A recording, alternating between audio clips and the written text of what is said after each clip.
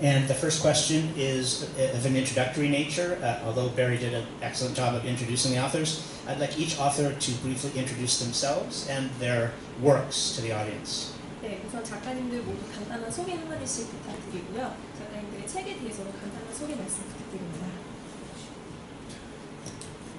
예, 안녕하세요. 저는 소설 쓰는 천명관입니다. 음,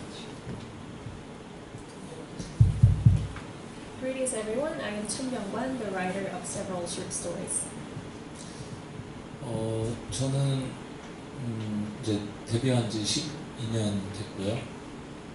어, 지금 여기 K-픽션으로 번역된 퇴근이란 소설은 제가 가장 최근에 그리고 어떤 의미에서는 제가 마지막으로 쓴 소설이거든요.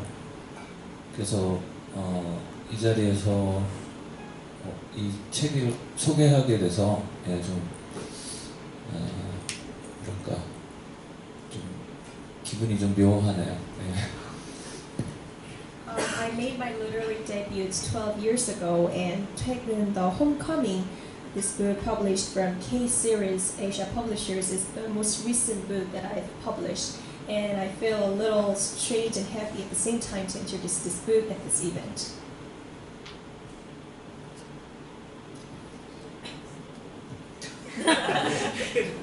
아 그래요. 저기 뭐 이렇게 외국인 분들을 이렇게 한국에서 이렇게 많이 한꺼번에 뵙기는 처음이에요. 그래서 제가 마치 외국의 어딘가에 와 있는 듯한 기분이 드네요. 네. 하여튼 이렇게 주말에 네, 이렇게 멋진 장소에서 네, 저도 명동에 정말 오랜만에 왔는데 네, 여기가 우리나라인가라는 생각이 들 정도로 많이 변해서 저도 놀랐어요. 이 공간도 그렇고 저희 모두 매우 네, 인상적인 기억이 될 것 같습니다. 예, 모두 오늘 시간 즐겨주시고 예, 찾아주셔서 감사합니다. Um, I've met this number of this many number of foreigners in Korea in the same place for the first time, so I feel as if I'm in a foreign country or something. Well, Myeongdong itself has gone through many changes, and it certainly will leave a good impression on me. Thank you for coming here again. 네, 안녕하세요. 소설 쓰는 황정은이라고 합니다. 음, 2005년도에 소설로 등단해서 계속 소설 작업하고 있고요. 어, 이 책의 이 단편 양의 미래는 2013년 가을에 써, 아, 가을에 발표된 재작년이죠. 재작년 가을에 발표된 소설이고요. 그때 이 단편을 작업할 때 다른 단편을 같이 작업했는데 저는 그 단편 상류의 맹금류라는 제목의 단편이었는데 그 단편하고 이 양의 미래라는 단편이 쌍둥이라고 생각을 하고 있어요. 어, 어쨌든 나름 좀 유별난 애착을 갖고 있는 작품인데 이 한 이 단편으로 책이 묶여서 책이 나와서 좀 신기하기도 하고 이 단편을 계기로 이렇게 많은 외국분들을 이 자리에서 만나 뵙게 돼서 반갑습니다. Uh, greetings, everyone. My name is Hwang Jung-eun, the author of Kong's Garden. I made my literary debut in 2005, and Kong's Garden, as of Kong's Garden, it was published uh, September 2013. And when I was writing this Kong's Garden, I was uh, working on another short novel at the same time. So these both books were like twins to me. However, uh, and these two books are certainly one of the most favorite works that I have done. Uh, anyhow, cer- uh, this book has certainly brought me a good opportunity to meet you all, and thank you for coming here. I'm pleased to meet you. Excellent. So we're going to start with some uh, relatively easy questions that um, oftentimes audience members want to know about authors. 네, 우선 관객 여러분께서 작가님들한테 듣고 싶어하는 간단한 질문부터 시작을 하겠습니다. And the first one is, what brought you to writing? Um, what do you get from the process? And when you finish a work, how do you feel?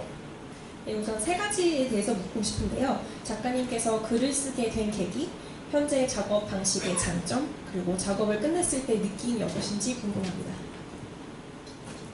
어, 두 번째는 현재 작업 방식의 장점. 예, 예. 네. 작업, 작업을 하시면서 뭘 얻게 되는지 현재 작업하시는 방식에서 얻게 되는지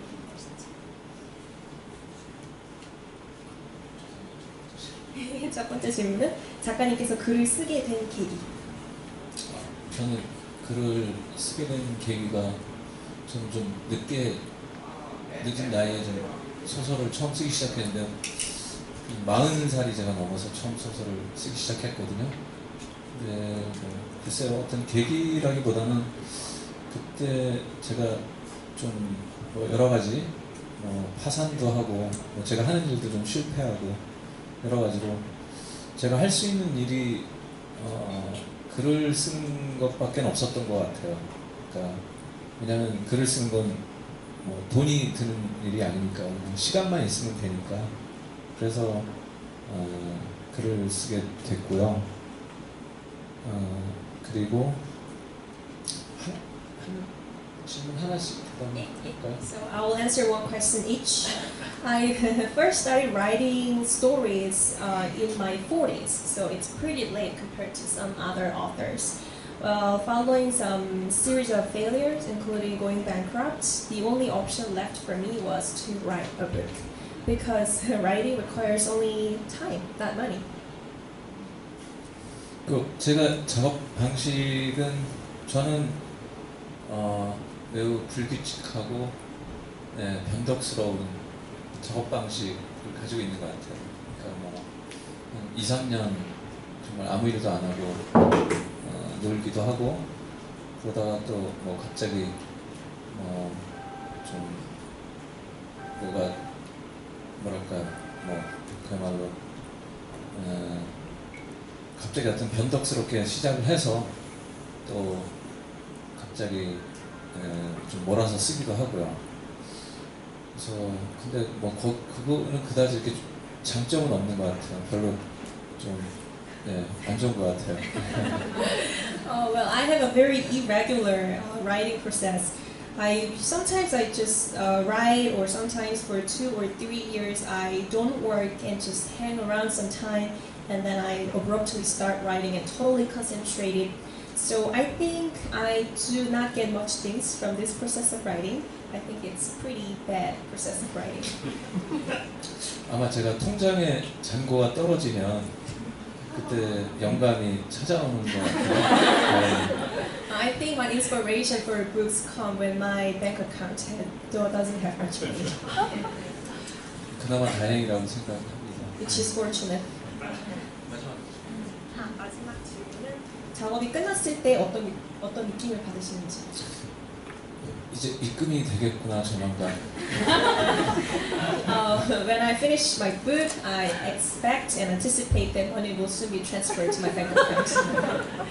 이번에 이번에는 좀 오래 버텨야 할 텐데 뭐 이런 기분 이 들죠. 예. Hope I can make a good living and last longer on that money. I don't think I've ever heard a more amusing and honest answer to that question. 어, 이렇게 솔직하고 재밌는 대답은 처음 들어봅니다.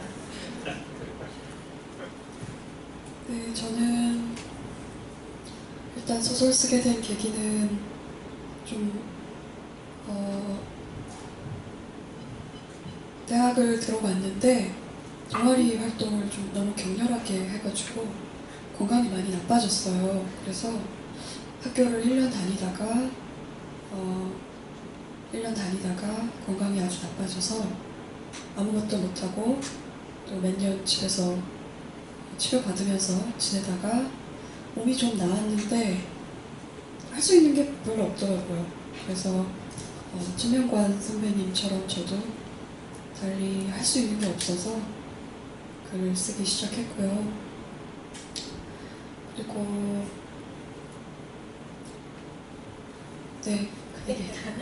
Uh, my answer to the first question, what uh, right to me right in the first place was, well, I entered into a university and then I uh, gave too much commitment into those circle activities with other friends.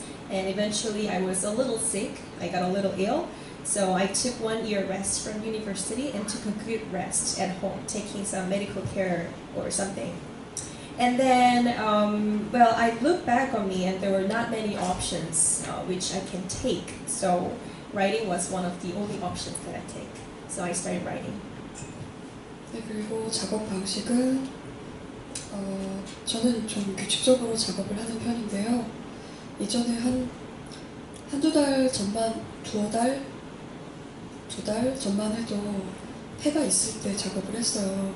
낮에 아침부터 시작해서 낮에 책을 읽고 작업을 했는데 최근에는 밤에 작업을 하고 있습니다. 근데 밤에 작업을 하는 게 훨씬 좋고요. 왜 많은 작가들이 밤에 작업을 하는지 최근에 좀 알아서 네, 밤에 작업하고 있습니다. I maintain a rather regular writing process. Well, two months ago, only just two months ago, I used to work in the daytime when I could still see the sun outside. But recently, I picked up this habit of working at night and found that it really suits me and got to understand why many authors are writing at night. And yeah, so I'm writing at night these days. 즉 평소에 다른 날이면 이 시간대 자고 있을 시간이라서 잠이 좀 들겠습니다. It's usually uh, those around those times where, where I would sleep these days, so I'm a little sleepy. A little sorry about that. 어, 네 그리고 마지막에 네, 어, 작업을 끝냈을 때 어떤 느낌이 드시는지. 아, 작업을 끝냈을 때, 어, 네, 뭐 저도 그렇죠. 원고료를 벌었구나. 일단 그렇게 생각이 들고, 네. 네, 그리고 원고 작업하기 전에 상당히 좀 이상한 상태로 집이나 동네를 이렇게 이상한 상태로 돌아다니는데 멍한 채로 돌아다니다가 또 작업할 때는 되게 예민해져서 작업을 하고 그리고 작업을 끝내고 나면 또 다시 멍해져서 주변 사람들한테 막 놀아달라고 조르고 그렇죠. Uh, when I finish the story, uh, like uh, Mr. Chong Myung-kwan, I also immediately think that well, I made a living out of my book. Uh, before writing a story, I just normally, uh, you know, just spend my day uh, thinking not very much things. But when I'm writing, I became extremely sensitive, and after finishing the work, then I returned to my normal uh, behaviors. Okay, excellent.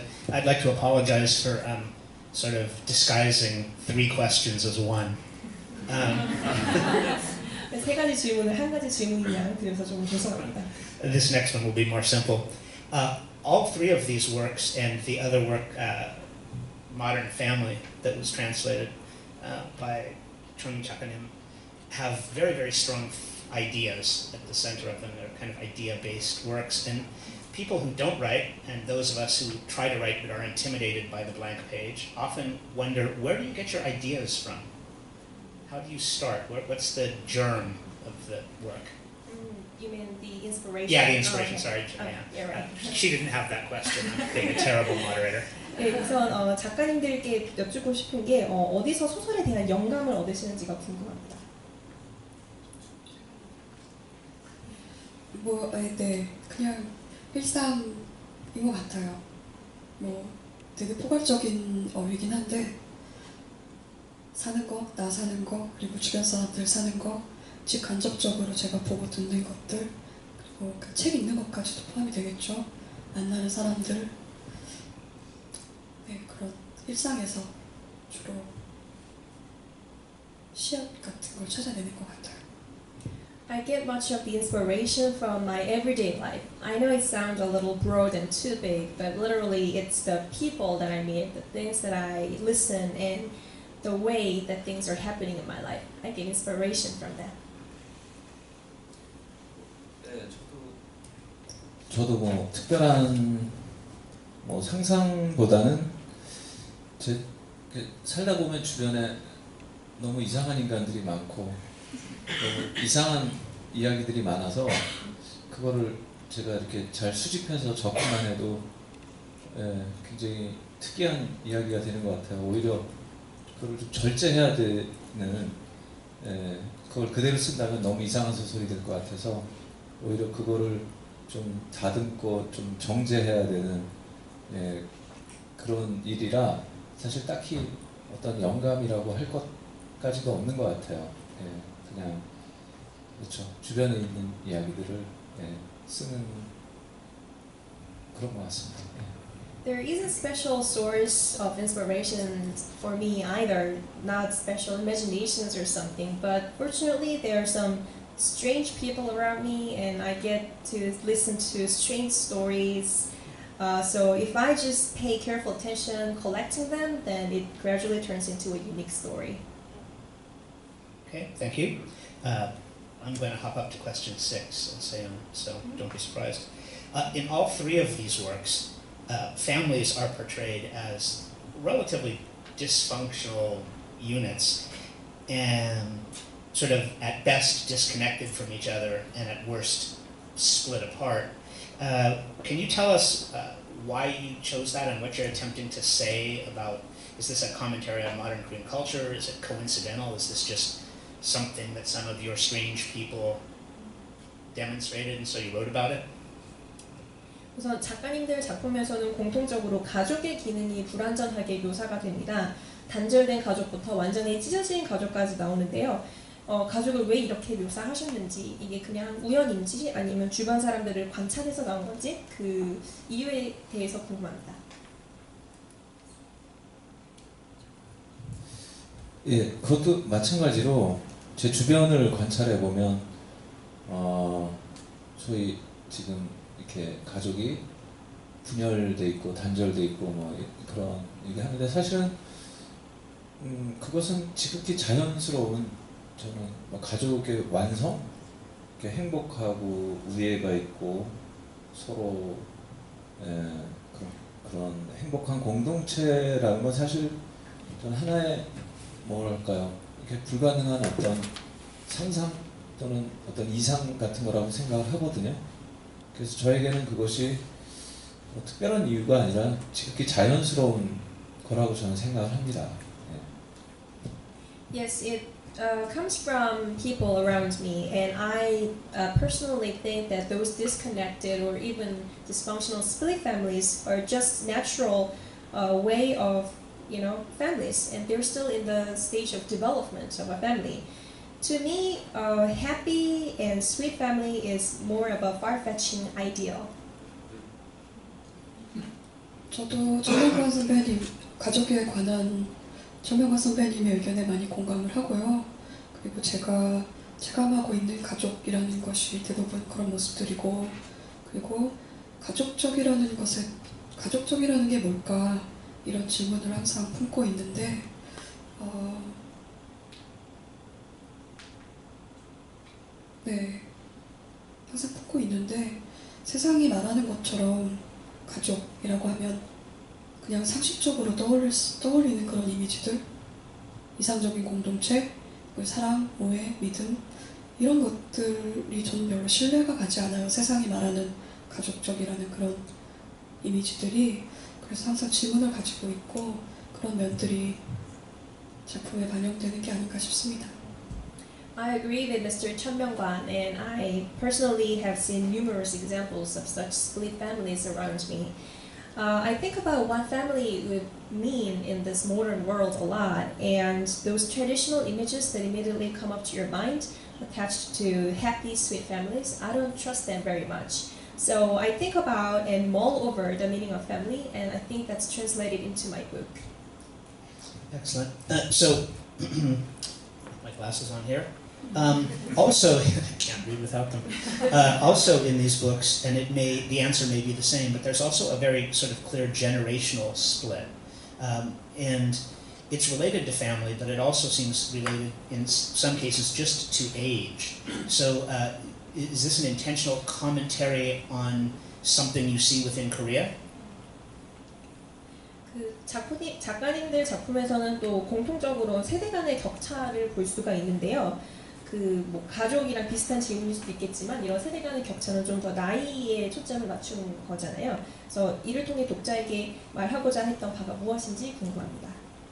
아 그리고 이것을 한국 사회에서 혹시 목도하고 작품에 쓰신 건지도 궁금합니다. 어려운 질문은 저부터 네, 어, 제가 세대 간 격차를 작품에서 본격적으로 말한 적은 아직 없다고 생각을 하는데요. 제가 어, 저희 부모 세대까지만 해도 네, 저희 부모 세대까지만 해도 상당한 궁핍과 가난을 경험한 세대고 또 그 이전에 할머니나 할아버지 세대는 또 더 했을 테고 그 어머니 세대나 아버지 세대가 경험한 그 궁핍, 허기 이런 것들에 대해서 제가 도저히 알려고 해도 알 수 없는 어떤 지점이 있다고 저는 생각을 하거든요. 뭔가가 내가 모르는 어떤 지점이 어머니나 아버지 세대에 있다고 생각을 하는데 그래서 인지는 모르겠으나 나이를 먹을수록 부모님 세대가 되게 궁금해져요 자주. 어머니는 왜 저럴까? 아버지는 왜 저럴까? 할아버지나 할머니 저 아저씨는 왜 저럴까? 혹은 뭐, 저 아주머니는 왜 저럴까? 근데 이게 세대가 달라서 생기는 질문이라기보다는 그냥 어, 어떤 한 사람에 관한 호기심? 궁금증에 가깝다고 저는 생각합니다. Uh, personally, you asked, actually asked about the generational splits in my book, but I personally think that I have uh, not yet really dealt with generational gap in my book. I do acknowledge that my parents' generation ha- has gone through uh, severe poverty uh, and hunger, and much worse when it comes to my grand grandfather and mother's uh, generation but there is a certain limit to which the generation of our age can experience and resonate. So I, was, I got more curious about those people and those uh, experiences they must have gone through. And I think those kind of curiosity doesn't come from generational gap or split, but in a much more individual way.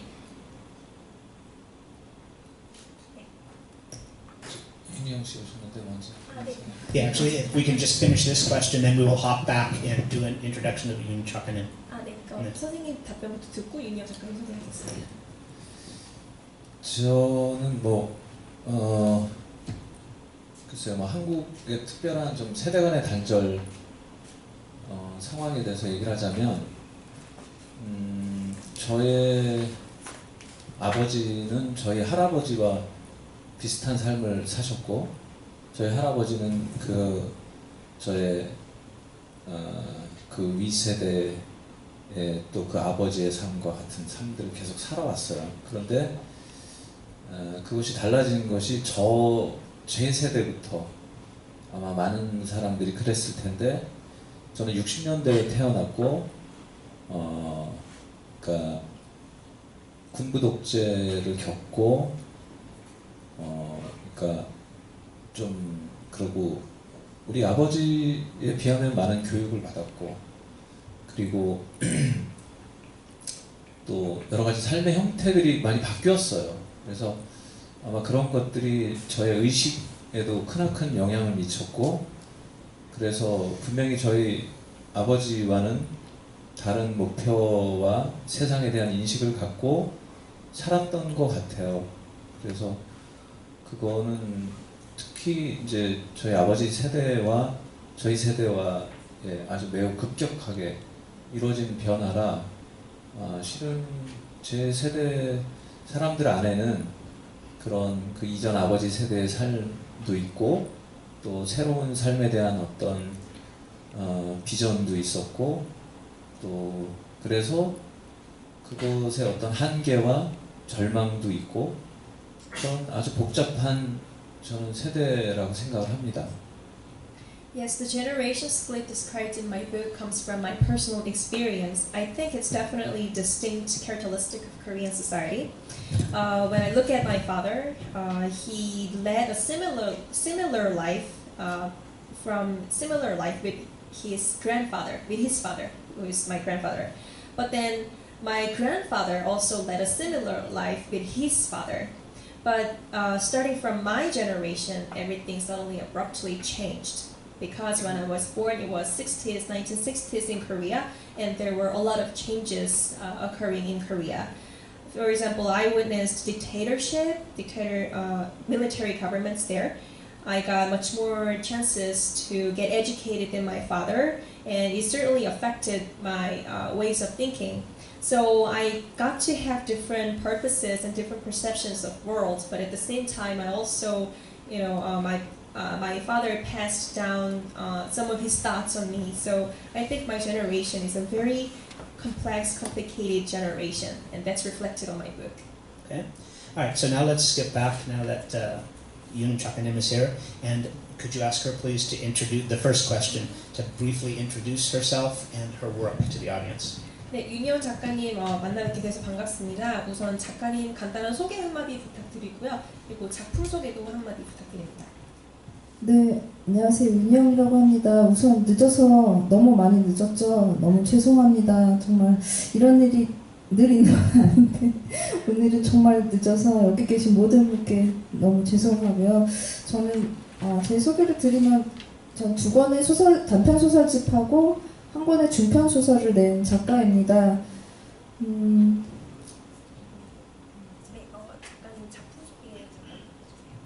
아, 이 댄이라는 작품은 어, 인조의 인간 베이비시터와 어떤 육아를 담당하는 할머니 사이에 생기는 미묘한 감정의 변화 같은 것을 제 나름대로 담아본 소설입니다. 좀 낡아가는 것, 오래된 것, 음, 사라져가는 것들에 대해서 생각하면서 쓴 짧은 소설입니다.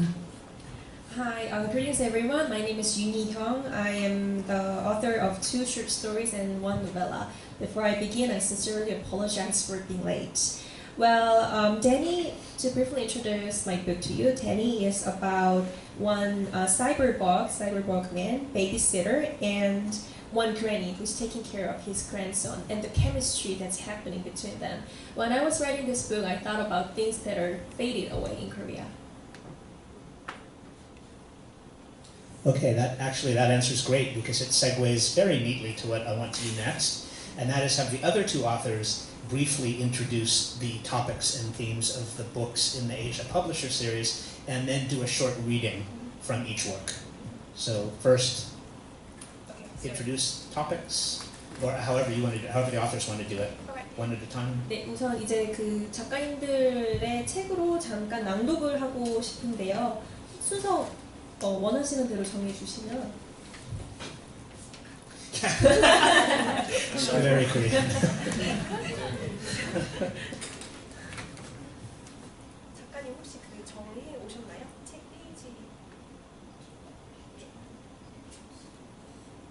And this will be done first by the author in Korean, and then by Seon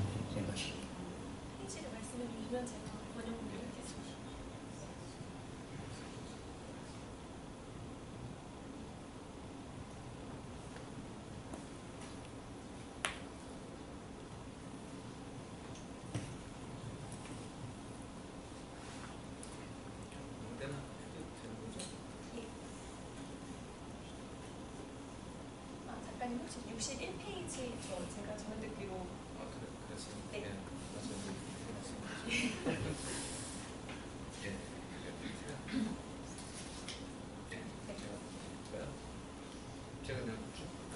네, 그럼 제가 번역하겠습니다. 낭독하겠습니다. 아이를 얻고 집으로 돌아오는 길은 팍팍하기 그지없었다. 아이는 그의 등에서 잠이 들었다. 어떤 처치를 했는지 몸도 따뜻했고 숨소리도 일정했다. 보기와는 달리 토끼 말대로 진짜 실력이 있는 의사인지도 몰랐다. 하지만 그것은 어디까지나 임시 방편일 뿐 아이의 몸 안에서 어떤 끔찍한 일이 진행되고 있는지 알 수 없었다. 결국 아이는 죽게 되는 걸까? 프리아처럼? 그리고 오래전 병원 앞에서 죽어간 그의 여동생처럼? 세상은 언제부터 이렇게 가혹해진 걸까? 그리고 왜 사랑하는 사람들은 늘 이런 식으로 곁을 떠나는 걸까? 인간은 원래 처음부터 그런 운명이었을까? 혹독한 시련과 고통, 불평등과 부조리, 착취와 불종만이 삶의 조건인 걸까? 어린 시절 세상에 대한 느낌은 늘 따뜻했다. 비록 늘 지쳐있지만 어딘가 믿음직스러운 아버지와 다정한 엄마, 자신이 누군가와 단단히 결속되어 있고 어딘가에 속해 있다는 뿌듯한 안심, 그것은 마치 새둥지처럼 아늑하고 부드러운 느낌이었다. 그런데 왜 그런 느낌은 다 사라지고 없는 걸까? 왜 모든 게 가혹하고 싸늘해진 걸까? 그것은 과연 누구의 잘못일까? 남자는 해답을 알 수 없는 질문과 혼돈에 사로잡힌 채 터덜터덜 슬럼과 한복판을 걸어갔다. 이상입니다. Heavy-hearted, he came back home, carrying his son on his back. The boy fell asleep on the way. He didn't know what exactly the doctor had done for his son, but now the child's temperature felt normal and his breathing regular. Unlike his appearance, the doctor could truly be an able one, as Rabbit had told him, he thought. But it was just a stopgap remedy, as the doctor had told him and there was no way of knowing what terrible things were happening inside the child's body. Is my boy going to die after all, like Freya? Like my younger sister who died in front of a hospital long time ago? When did the world become so cruel? And why do people I love always leave me this way? Are all humans destined to live and die like this? bitter trials and pain, inequality, absurdity, exploitation, and servility. Are these the only conditions of life? When he was a child, the world seemed to be warming kind. With his reliable father, though he was always exhausted, and his affectionate mother beside him, he felt safe knowing that he was tightly bound up with others and belonged somewhere. It was a sense of being protected by something soft and cozy, like in a bird's nest. Why then has that feeling disappeared altogether? Why has everything turned cruel and cold? Whose fault is it anyway? Gripped in unanswered questions and confusion, the man trudged across the central part of the slum. Excuse me. Can you say the name of that book again, please? Homecoming. Homecoming. Homecoming. Um, and they're again for people who came in late. They are available at a special sale price over at that table, and there will be an autograph session afterwards. So I suggest you hie yourself hence with your wallet. Um, so that was an excellent uh, excerpt. It actually served two functions. It gave an idea of the writing, and also it really summed up the book quite well, the theme of the book. So I'll skip the summary part. Can we next offer, please?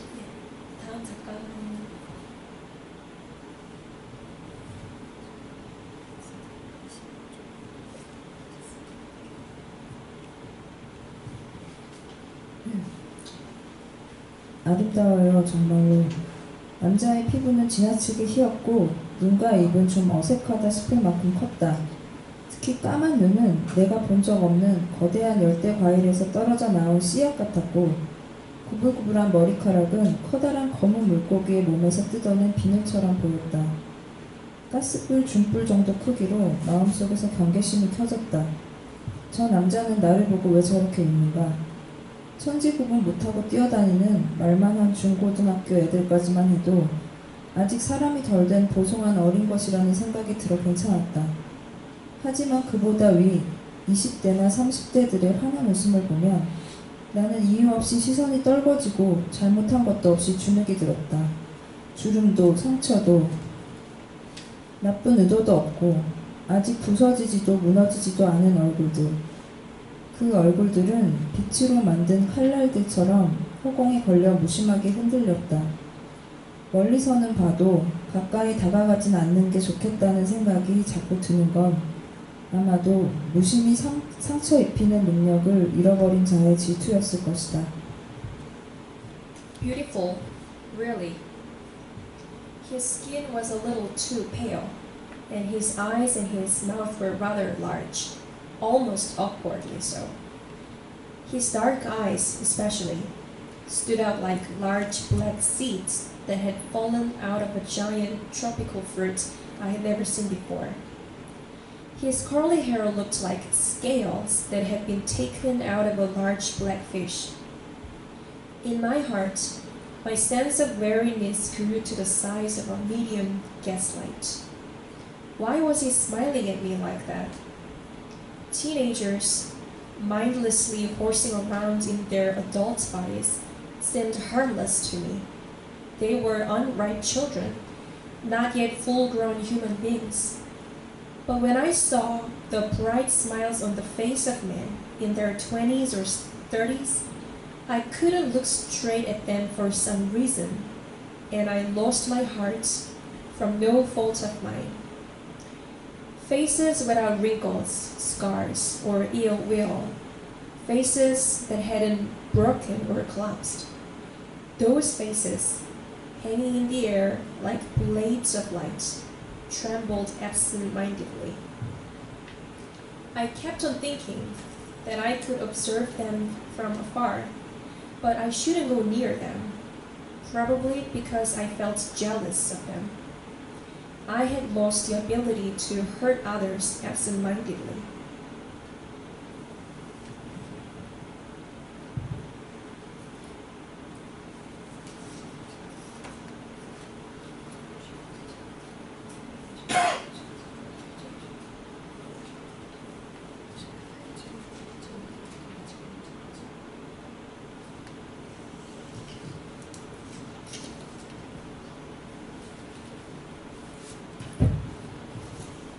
진주의 어머니는 진주의 사진이 실린 전단을 한 묶음씩 옆구리에 낀 채로 서점 주변을 돌면서 사람들에게 나누어 주었다.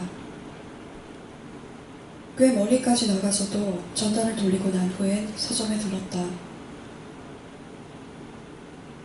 그녀는 매일 오후 계산대 앞에 서서 용의자를 보았느냐고 물었다. 용의자와 닮아 보이는 사람이 오늘 서점에 들르지는 않았는지, 근처에서 그를 보았다는 사람은 없었는지를 묻고서 내게 무엇 보았느냐고 물었다. 본 것을 말해달라고 몇 번이나 졸랐다. 그 남자들은 어떻게 생겼나? 진주가 그들과 무엇을 하고 있었나? 그 애가 어떻게 보였나? 취한 것처럼 보였나? 맞은 것 같지는 않았나. 얼굴이나 팔뚝에 상처가 있지는 않았나. 협박당하는 것 같지는 않았나. 무서워하는 것 같지는 않았나. 애가 울고 있지는 않았나. 어느 방향으로 갔나. 그 애가 어느 쪽으로 갔나. 그런 것을 몇 번이고 물었다. 그런 다음에 그녀는 나에게 그때 무얼 하고 있었느냐고 물었다. 마지막엔 언제나 그렇게 물었다. Jinju's mother distributed flyers to passerby around the bookstore. There was a bundle of flyers always tucked at her side. After handing out flyers all over the area, even traveling far to do it, she still dropped by the bookstore every day. Every afternoon, she stood in front of the counter and asked if I had seen the suspect. After asking me if anybody resembling the suspect had dropped by the bookstore that day, if anyone had seen him nearby, she asked me what I had seen.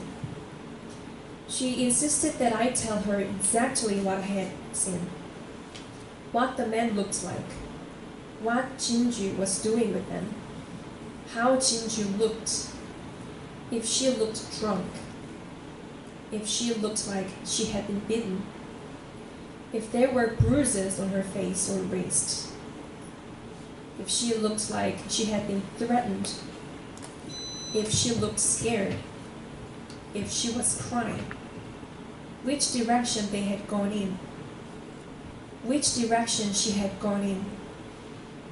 She asked me the same questions over and over again. Then she asked me what I was doing then. She always asked the question last. I'd like to thank all three authors uh, for reading those passages. I think they gave, gave you an excellent idea of the sort of um, clarity and brilliance of some of the writing, and by the way, the translating. I should take a moment to say that these are extremely well translated works, so credit to Asia Publisher and the translators. Uh, the next question moves back to sort of the thread I was on at the outset, asking general questions. Could each of the authors very quickly say who their uh, who their influences were, who they believe influenced them as writers? 네, 우선 작가님들 세 분께 낭독해 주셔서 정말 감사드린다는 말씀을 드리고 싶습니다. 작가님들의 작품이 대충 어떤 분위기인지 어, 알수 있었고 또 번역이 얼마나 훌륭하게 됐는지도 알 수 있는 기회라고 생각합니다. 우선 작가님들께 드리고 싶은 질문은 작가님께 영향을 주는 것이 무엇인지 사람이든 뭐 다른 것은 어떤 게 영향을 주는지가 궁금합니다.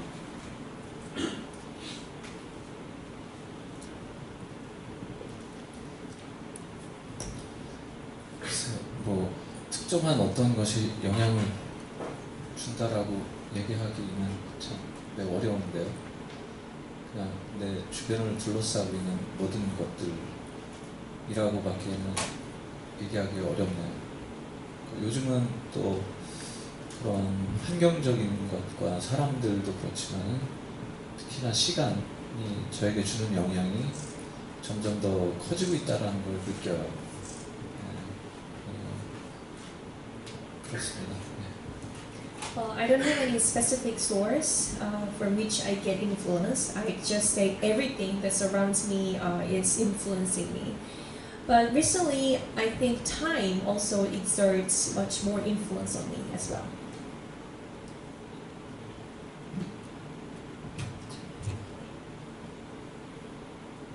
네, 아까 질문에 대한 답하고도 비슷한데요. 일단 일상에서 이야기들을 많이 만나게 되는데 제가 일상에서 만나는 사람들, 현재는 지금 만나고 있는 사람들 혹은 궁금한 사람들, 어, 어떤 식의 격렬한 감정을 품고 있는 사람들, 가족들 이런 사람들한테 영향을 많이 받는 편이고요. 그리고 작업하는데 가장 소설을 쓰는데 가장 어, 영향을 많이 받는 것은 저의 디스크입니다. 제가 네, Uh, usually, stories around me uh, are exerting influence on me. People I meet up, people uh, that I find curious, and also s- at the same time, people who have intense emotions. Uh, but when I'm writing, the most uh, biggest influence is coming from my back aching. 그 일단은 한 4년쯤 전에 디스크 상태가 대단히 안 좋아져서 어 막 앉지도 못하고 눕지도 못하고 그냥 서서 계속 시간을 보낸 적이 있었거든요. 근데 이게 그 산문 장르에서는 거의 직업병이라고 할 수 있는 그런 질병으로 알고 있는데 아무래도 오래 앉아 있다 보니까 문장을 쓰는 시간이 이제 길다 보니까 하게 됐는데 그래서 요 몇 년 사이에는 제 일과가 그 디스크를 몸을 건강하게 유지하고 건강하게 유지하기 위해서 운동을 항상 하고 그리고 작업 시간을 지켜서 작업을 하고 일정 시간 앉아 있은 뒤에는 반드시 스트레칭을 하고 네 그래서 문장을 막 어, 이 문장 멋져 그러면서 막 쓰다가도 아 이거 좋은데 이거 쓰다가도 디스크가 딱 아프면 일어날 수밖에 없는 영향을 많이 받습니다. Um, I had my back aching for a long time, but four years ago it started gotten worsening. So I couldn't sit or lying down. I would spend most of my time standing doing things. I think it's the destiny of many writers. So exercise and maintaining my physical health has become my top priority. Maintaining regular uh, daily lives, and yes, certainly it's exerting uh, great influence on me. 네, 저는 어, 사람 영향을 준 사람이라고 생각을 하고 질문이 대답을 준비해 왔는데 네, 디스크. 저는 제 답변을 말씀드릴게요. 어, 저는 글을 쓰게 쓰기 시작하게 도와주는 사람은 제가 비극을 좋아하는 편이에요. 희극보다는 소포클레스를 굉장히 빼놓을 수 없을 것 같고요. 프란츠 카프카, 무라카미 하루키 이런 사람들이 저희, 저에게 글을 쓰기 시작하게 만들어 주었습니다. 그리고 독서 취향을 말해야 된다면 저는 SF 장르를 좋아해요. 로버트 하인라인, 어슐러 르 귄, 또 최근에 존 스칼지 같은 작가들을 굉장히 좋아하고요. 그 현재 저의 작업에 가장 큰 영향을 주는 사람들은 어, 하나하나 거론하기에는 너무 많지만 동시대 한국 작가들입니다. 그들이 건재하고 있고 계속 새로운 작업을 하고 있다는 사실이 저에게 아주 큰 용기와 자극을 주는 것 같습니다. Uh, first of all, the writers who inspired me to first start writing in the first place was Sophocles because I have a preference to tragedy rather than comedies. Murakami Haruki and Kafka, those were people who inspired me to write. Uh, as of the books, some of the books that I find interesting are sci-fi writers, Robert Heinlein, John Scurgy, and uh, the people who drive me to continue writing in this society are the people, the writers, Korean writers uh, who are living in this contemporary world as of me. The fact that they are uh, working in this contemporary Korean uh, literature landscape and they're still continuing to be writing empowers me and encourages me to continue to write. Once again, Yoon Chakanim reads my mind and leads me to the next question. So, two authors whose influences are not necessarily historically literary, one author whose authors are either modern or postmodern or current. So, my question is this there are sort of two things um, going on at this current time uh, in Korean critical society, and the, uh, one is a question of sort of plagiarism and cultural appropriation. That is a question of original versus unoriginal work, and I think most of our audience, I don't need to talk about the scandals that currently exist. And then the second is the question of the importance of writing intensely Korean fiction, because historically Korean fiction has been intensely related to the events of the time. When you're writing, or when you're plotting, or when you're thinking of your ideas, do you feel any concern for this, any tension from what might happen to your works? Because A, they're somewhere between modern and postmodern, and B, they are translated, which also sometimes raises alarms in Korean critical circles. Are you also asking their thoughts on plagiarism? Uh, no, just originality. Yeah. 네, 요즘 한국 미디어와 문학계에서는 표절이 화두인데요. 특히 문학계에서는 타인의 것을 어, 동의 없이 허용하는 문화적 정, 전율을 경계하면서도 어, 한국적인 것에 초점을 맞춘 한국적인 작품을 찾고 있죠. 그래서 오늘 자리에 함께 하신 작가님 세 분은 모두 현대 작가이신데 작품을 이러한 상황에서 작품을 쓸 때 표절을 경계하면서도 독특한 나만의 것을 써야 하면서도 또 한국적인 것을 써야 하는 어, 이러한 어, 문제 상황을 어떻게 생각하시는지 궁금합니다.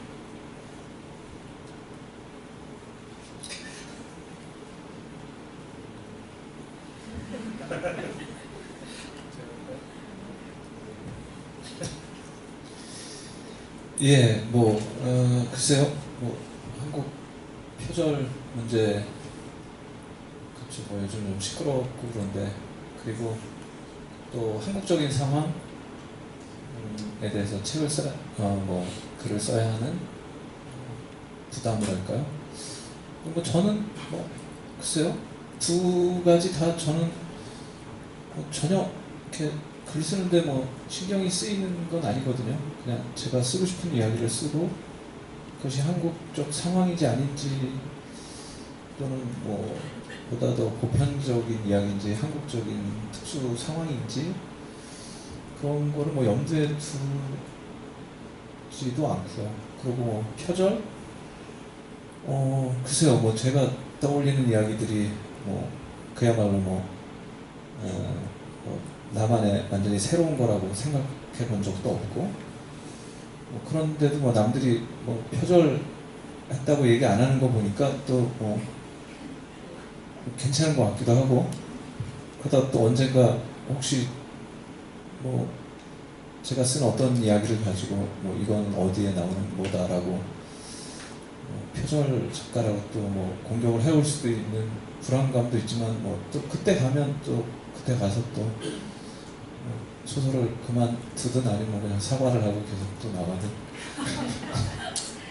그런 그래 그래요. 저는 뭐 별로 둘 다 저는 뭐 깊이 생각을 해본 적은 없어요. 예, 별로 신경 쓰이는 일도 아니고요. 예. Well, yes, plagiarism is a hot button issue in Korean society, and some writers are getting pressures to write something that is very Korean.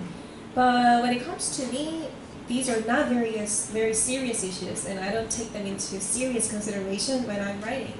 I just write stories the way I want, the I, the stories that I like. I never really put serious consideration into whether it's uh, way too Korean or universal. Uh, and um, in addition to that, I have never thought that the stories that I'm writing it's too or very original that no one has ever thought of. I think it's the kind of stories that people must have heard, but so far nobody has filed suits against me, so I think that it has been okay. Uh, you, you, uh, you don't have to focus tightly on plagiarism. I'm more interested in the larger ideas of that you guys are writing new. You're extremely cutting edge. You're writing new things, and that comes with some risks, uh, some critical risks. So that, uh, I would like an answer more about that, like specifically plagiarism. 네, 우선 그 제가 드린 질문은 그 표절에 너무 이렇게 집중에 치우친 질문은 아니었고요. 작가님께서는 신예 작가님이시니까 어, 동시대 가장 현대적인 작가님들이시니까 뭔가 새로운 것, 현대적인 작가로서 현대적인 작품을 쓸 때는 리스크가 딸려오잖아요. 그, 그 비평계 쪽에서 싫어할 수도 있다든지 그런 리스크가 있는데 그런 걸 어떻게 감안하시는지가 궁금합니다.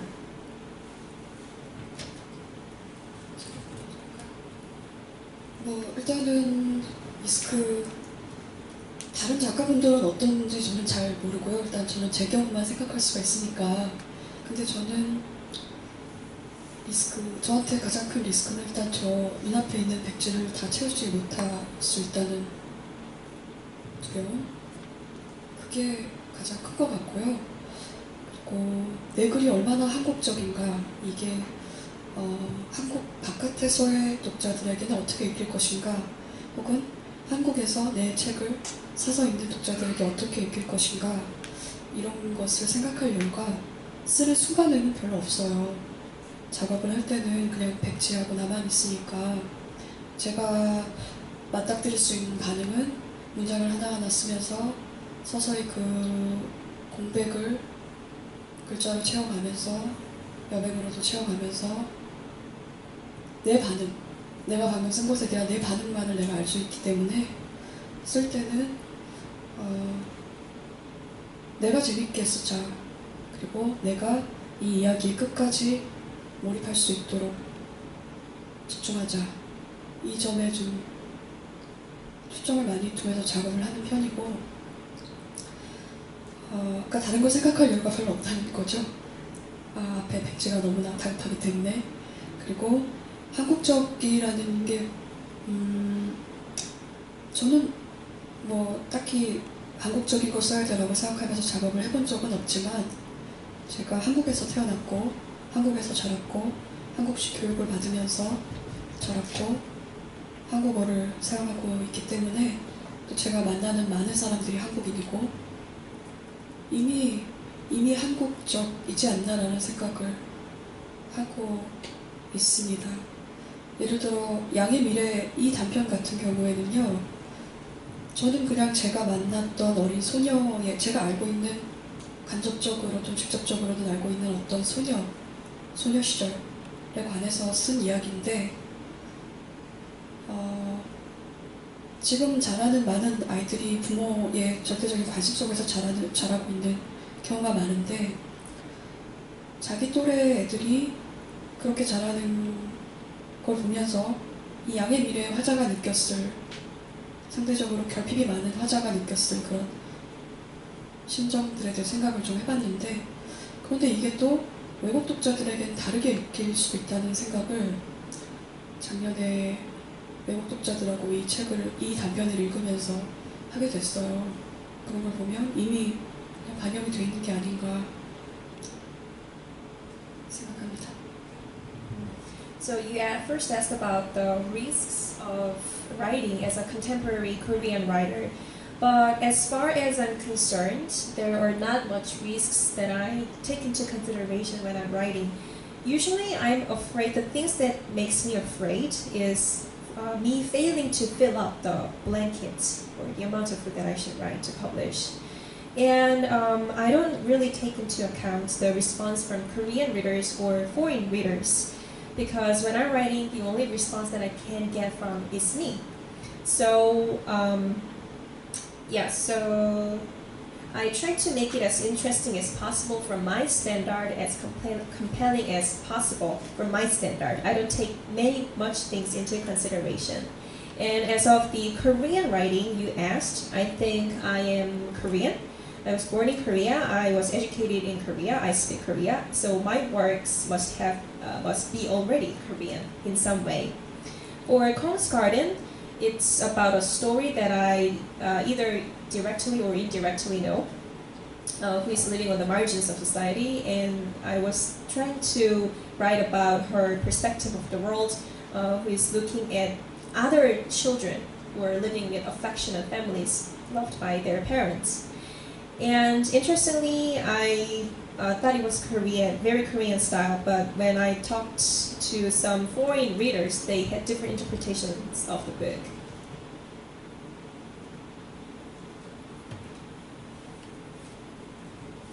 네, 저는 어, 글을 처음에 쓰기 시작했을 때는 굉장히 독자의 반응을 신경 쓰는 편이었습니다. 그래서 그게 독자가 비평가이건 혹은 어린 학생이건 간에 그 사람을 즐겁게 해야 된다고 먼저 생각을 했던 것 같아요. 재미가 없다고 하면은 막 결말을 바꾼다거나 문장을 고친다거나 이래야 되지 않나? 항상 그거를 생각하면서 전전긍긍했었던 것 같은데 지금은 좀 생각이 바뀌었어요. 그러니까 글을 쓰면서 어떤 작가가 의미를 의미랄까 무언가를 전하려고 할 때 그게 독자에게 제대로 전해지는 일은 정말 기적에 가깝게 드문 일인 것 같더라고요. 그 만약에 그런 기적이 일어나면은 기뻐해야지 그게 잘 되지 않는다고 슬프거나 우울해하거나 뭐 이러지는 않는 것 같고요. 한국적인 것에 관해서 말씀드리면 저는 개인적으로 한국 지금 한국의 모습을 소설에 담고 싶다는 욕망이 강한 편인 것 같습니다. 음, 지금까지 써온 거의 모든 이야기가 지금 이곳의 이야기를 쓴 것 같고요. 제 소설에 뭐 좀비나 로봇이나 뭐 이런 이상한 존재들이 많이 등장을 하기 때문에 다른 시공간의 이야기로 읽히는 경우가 많이 있어요. 근데 제가 그런 형식 속에 담으려고 했던 이야기는 지금 이곳에서 일어나는 일들에 많이 초점을 두고 있었던 것 같고요. 한국은 너무너무 빨리 변하고 또 금방 많은 것들이 사라지기 때문에 저는 마치 그러니까 사진을 찍어서 남겨두듯이 제 소설 속에 지금의 일들을 남겨두고 싶은 개인적인 욕망이죠. 그런 것이 좀 있는 것 같습니다. When I was writing uh, at the when, when I just made a literary debut, I thought about my writers and their response a lot. And I was obsessed with pleasing, whether it was critique or just a student reader, I was obsessed with pleasing them and made a lot of changes to my book accordingly. But now it's different. I think conveying my message uh, and get it really right to the reader is just a miracle. And I'm more like, okay, I will appreciate those miracles if it happens. If, if, if it doesn't happen, then it's okay. And as of the Korean stories that you asked, I have a strong desire to depict uh, the Korean society and the status quo of this country. Well, there comes zombies or robots in my book, and people oftentimes interpret that this book is uh, the setting of this book is uh, somewhere other than Korea. But these actually uh, protagonists or the characters are used in this book to portray Korea the issues or problems, so I wanted to address those problems in my book. Yeah, it's an interesting set of answers to me because it's quite possible that I'm reading these as cultural signifiers in English literature, not as cultural signifiers in Korean literature when I read in translation. 어, 굉장히 흥미로운 답변이었습니다. 왜냐하면 제가 번역문을 읽었을 때는 이것이 어떤 어, 다른 문화적인 요소를 담고 있다, 담고 있다고 해석을 할 여지가 많았고 굳이 한국적인 이야기를 담고자 했다는 거는 좀 캐치를 잘 못했었거든요. 그래서 흥미로운 부분이었습니다. So I have a series of individual questions for the authors, which I'm going to hold off on in the interest of time. It is now 5.15. I suggest we take a five-minute break. You can go to that table and buy all three books, I think, for 15,000. And then in five minutes at 5.20, we will shift to that section of the program in which you ask questions. I will only ask my remaining questions if you guys peter out, and then there will be autograph sessions. So I'd like to ask you all to give a big hand to our three authors for their excellent.